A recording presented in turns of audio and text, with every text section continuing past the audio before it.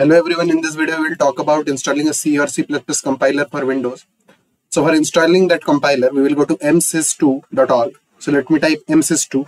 As you can see, I am in my browser right now. So let us go to that website, msys2. So it will show us many options. So the this will be www.msys2.org. So let's go to that website.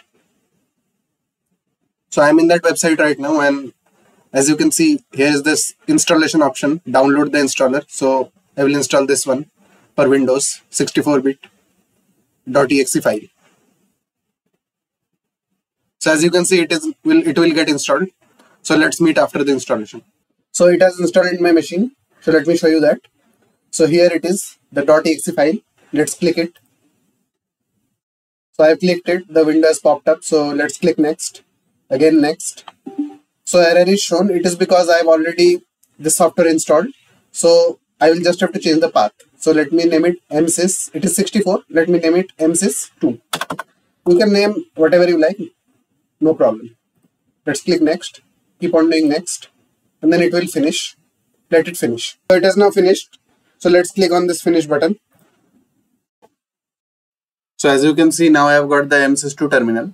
So from this terminal, I will install the GCC compiler. So for that, I need to give it a command. So let me paste the command. So this is the command. Let me press enter. So it will get installed. Uh, proceed with installation. Give Y for yes. It will install. Let's meet after the installation. So the installation has finished. So now I need to copy the path of a certain directory and put it as an environment variable. So for that, I will go to the C drive. So now I am in my C drive. So remember I gave the name as msys2, the directory name. So let's go there. And here go to the UCRT64 directory. From here go to the bin directory and copy this path.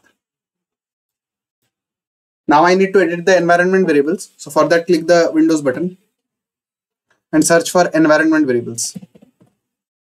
Here I have got that option.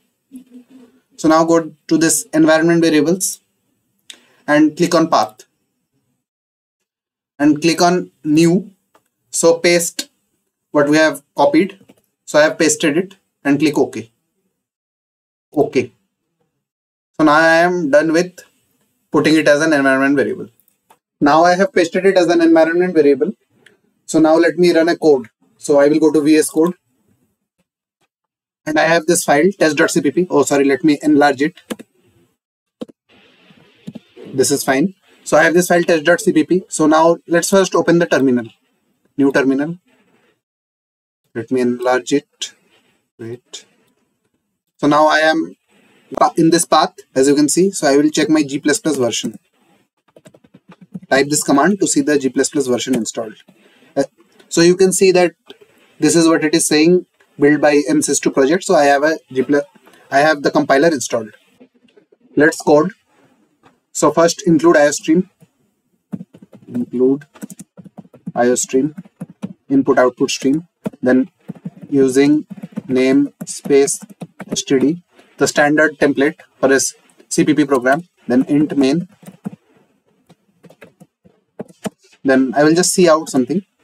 So let's cout 5 okay.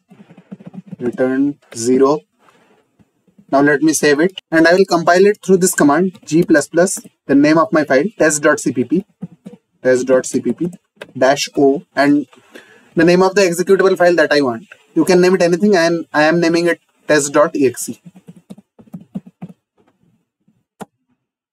so I have compiled it. Let's run it. To run it you just need to put the path. So let me put the path of the executable file .exe and press enter, it should output 5. So as you can see, I have got 5 as the output. So now we, we have also compiled and run our code through this compiler. So basically we are done with installing the compiler. You can run both C and CPP files through this compiler. Thank you for watching this video and please comment on what videos you want next. Thank you.